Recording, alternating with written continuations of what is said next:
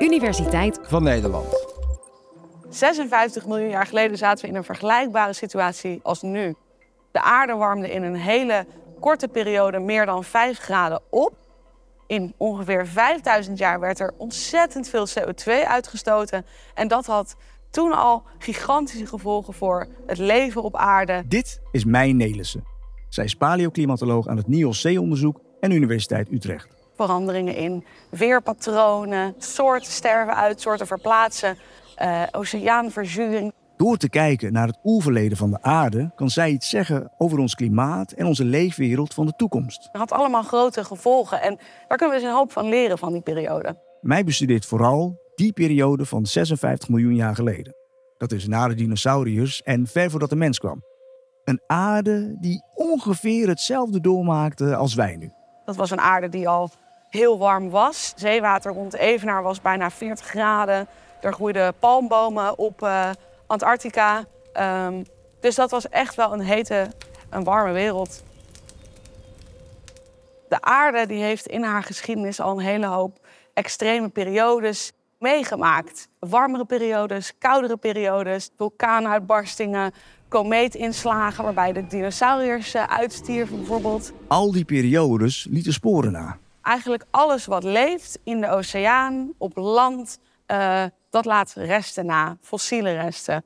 En die fossiele resten blijven bewaard in de bodem, onder onze voeten. En in die bodem zien we verschillende lagen.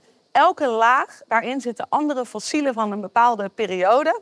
De oudste laag die ligt onderop. Als er nou opeens iets verandert in dat klimaat, waardoor er opeens allemaal tropische planten komen, dan zien we dus een andere laag. Namelijk een laag met opeens daar de fossielen in van tropische bomen en planten. En die laag, die fossieletjes, die komen naar beneden en die komen te liggen dus op die vorige laag.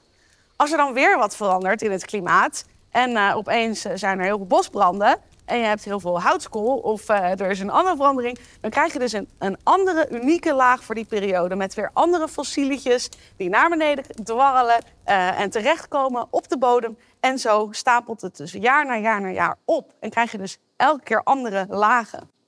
Als je hierin gaat boren, kom je dus wisselingen tegen in kleur, in uh, fossielen. Je kan ze gewoon zien met het blote oog. En hoe dieper je dan boort, hoe verder je eigenlijk terugkijkt dus in de tijd. Mij heeft een opgraving meegenomen.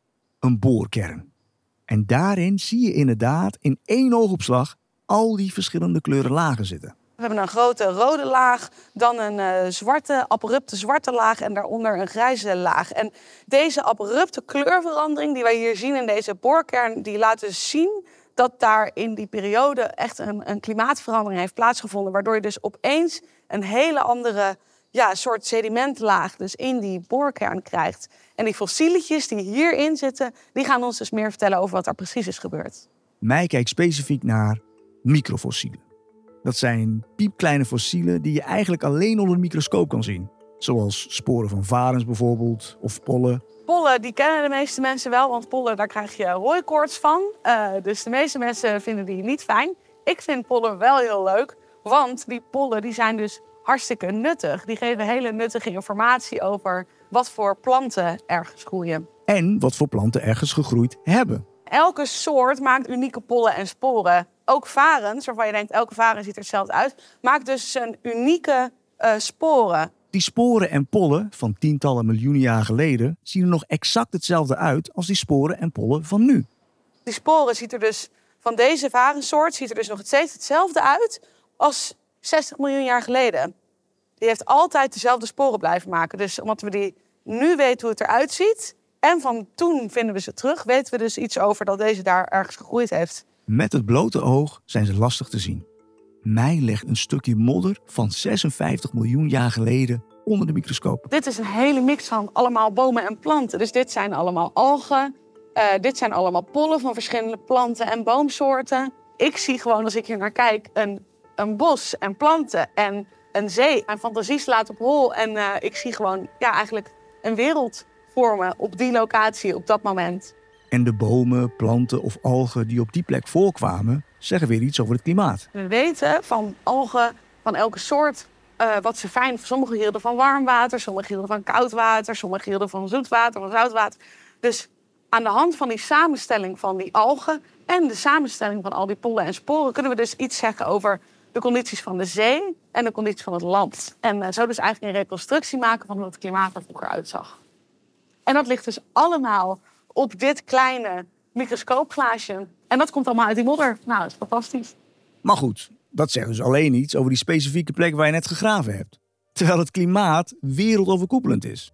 En daarom is het belangrijk om over de hele wereld stukken grond op te boren. Ook de bodem die verscholen ligt onder kilometers diepe oceanen. Ik ben vorig jaar meegeweest op een expeditie op een schip die heet de Joyous Resolution. Wij uh, drobberen hier inmiddels uh, zo'n week rond. En met dat schip ben ik naar de, voor de kust van Noordwest-Groenland gevaren. We hebben al zo'n anderhalve kilometer zeebodem opgeboord. De Joyous Resolution is een legendarisch schip. Dit is expeditie 400. Er zijn dus al 400 expedities voor geweest. En vaart al bijna een halve eeuw de aarde rond om boringen te doen. De zee uh, is een hele handige plek om onderzoek te doen naar klimaat. Dat heeft twee redenen. Ten eerste, de zee is een goede afspiegeling van het klimaat. Het overgrote deel van de CO2 die wij uitstoten, die lost eigenlijk op in de oceaan. En daarnaast is de zee ook meer gemixt. Bijvoorbeeld als je op land zou boren, als je op de ene plek net toevallig onder een boom staat, dan komen al die polletjes daar terecht op die ene plek. Uh, dus het zou zomaar kunnen dat 10 meter daarnaast je een totaal andere boorkern krijgt. Maar in de zee uh, is het meer gemixt, het water is meer gemixt. Dus je ziet uh, eigenlijk veel meer een soort gemiddelde trends daarin. Vervolgens gaan wetenschappers over de hele wereld aan de slag met alle grond die wordt opgegraven. Ik uh, onderzoek dus die microfossieletjes, maar er is nog zoveel meer te onderzoeken aan datzelfde sediment. Mensen die naar natuurkunde kijken, uh, mensen die naar de mineralen kijken, uh, organische geochemie, dat gaat over de moleculen die achterblijven. Je kan het zo gek niet verzinnen. Ik ben ook nog elke keer versteld van wat, wat er eigenlijk allemaal kan en wat mensen nog meer doen.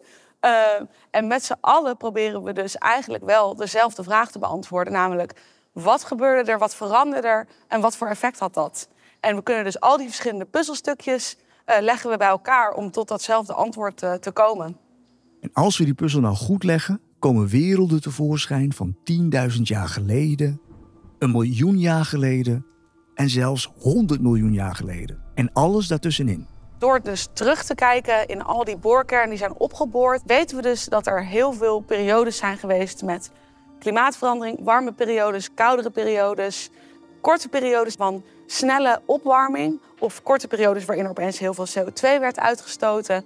Mij zoekt terug in aardlagen naar een tijd die lijkt op de onze, om zo meer te kunnen zeggen over wat ons allemaal te wachten staat.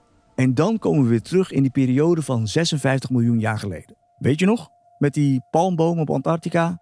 Een tijd na de dinosauriërs en voor de mens. Toen was er, net als nu, een grote CO2-piek die in korte tijd de lucht inging. Ik moet daar wel bij zeggen, dat is een aarde die anders was dan de aarde, dan, hoe die er vandaag uitziet. Dus er zijn ook gewoon grote verschillen. Dat was een aarde die al heel warm was. Echt wel warmer dan onze wereld zal gaan worden nu in de komende tijd. We zien in die periode uh, echt gigantische grote dingen gebeuren. Een voorbeeld is dat we zien in die fossielen, uh, maar ook in andere resten, dat er dus echt plekken werden waar het ontzettend hard ging regenen.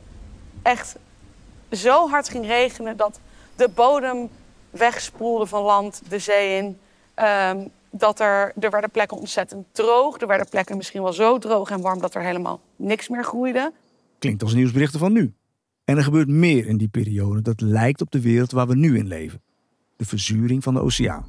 Aan de hand van een boorkern uh, hebben ze dat voor het eerst ontdekt. In deze boorkern zaten de wetenschappers op een schip. En uh, de boorkern kwam omhoog en uh, ze maakten hem open. En ze zagen wit van kalk, dus schelpjes die maken kalk. En die geven een soort wit sediment. En opeens verdween in één klap verdween de witte kleur en werd het zwart. En wat daar dus is gebeurd, is dat in één klap de oceaan eigenlijk verzuurde. En eigenlijk kalk oploste. Kalk kan niet tegen zuur. Uh, iedereen kan thuis een keer citroensap op een schelp gooien. Dan zie je dat het oplost. En dat is dus wat daar gebeurd is. En daardoor is dat sediment dus, uh, werd dat in één klap zwart in plaats van wit. Oceaanverzuring is ook iets waar we vandaag de dag mee te maken hebben. Zo snel als het vandaag gaat, is het nog altijd tien keer sneller dan toen. Niet goed voor onze oceaan. Wat we zien in die periode is eh, los van verzuring ook enorme stukken oceaan die anoxisch worden, dus waar geen zuurstof meer zit. Dus uh, dan krijg je stukken in de, in de oceaan die gewoon, uh, ja, dat noemen we dan dead zones, daar, daar kan niks leven. En dat is een probleem wat we vandaag de dag ook zien gebeuren. En dat is natuurlijk een groot probleem voor het zeeleven. En dus automatisch ook weer voor de mens. Ook ziet mij aan de fossielen dat veel plekken op aarde onbewoonbaar werden. Deze periode was ontzettend extreem. Uh, qua snelheid, qua intensiteit.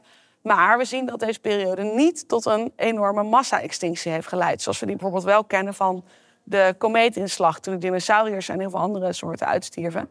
Wat we wel zien tijdens deze periode is dat soorten eigenlijk allemaal zijn gaan verplaatsen. De natuur die gaat natuurlijk reageren op die opwarming. En uh, plantensoorten die, voor wie het eerst een fijne temperatuur was, die zullen dus gaan verplaatsen naar ja, uh, plekken waar ze het fijner vinden. Dus die gaan verplaatsen naar hogere breedtegraden. Dus verder naar het noorden of nog verder naar het zuiden. Zware regenbuien, oceaanverzuring en migratie. Een kleine greep uit de dingen die 56 miljoen jaar geleden gebeurden. En natuurlijk, die wereld was anders. Er zijn overeenkomsten, maar er zijn ook absoluut verschillen. Uh, dus we kunnen zeker niet zeggen, nou, uh, wat er toen gebeurde, dat kunnen we één op één leggen op wat er nu gebeurt. Uh, maar het leert ons wel een hele hoop over ja, dus de gevoeligheid van het leven, de oceaan, hoe die toen reageerde op die enorme verstoring. En dat kunnen we, leert ons ja, een hoop op, ja, over hoe dat vandaag de dag zou kunnen gaan. Klimaatverandering is dus niks nieuws. Toch is de periode waar wij nu in zitten wel anders. De snelheid waarmee dit vandaag de dag gebeurt, um, hebben wij niet eerder gezien in de geologische geschiedenis. Um, is ook niet te verklaren door natuurlijke processen. De klimaatverandering die nu plaatsvindt, is echt wel onomstotelijk een oorzaak uh, van menselijk handelen en ja, menselijke schuld. Mensen vragen wel eens: maak je je zorgen? En ik zeg altijd: nou, als bioloog uh, maak ik me helemaal nergens zorgen over. Want uh, de natuur die vindt een weg en de natuur die redt zich wel. Als mens vind ik het uh, wel, ja, maak me in dat op zich wel meer zorgen. En dat het in die zin een minder fijne planeet wordt voor de mensen om op te leven. En dat, daar, uh, dat we dat ook al heel lang weten, maar dat daar weinig aan gebeurt om dat tegen te gaan. Dus daar maak ik me wel zorgen over. Dankjewel, mij, voor dit belangrijke onderzoek. En ik ben heel benieuwd. Wat zou de opvolger van mij, zeg over 56 miljoen jaar, wat zou die terugvinden in onze aardlaag? Denk daar maar eens over na. Tot de volgende!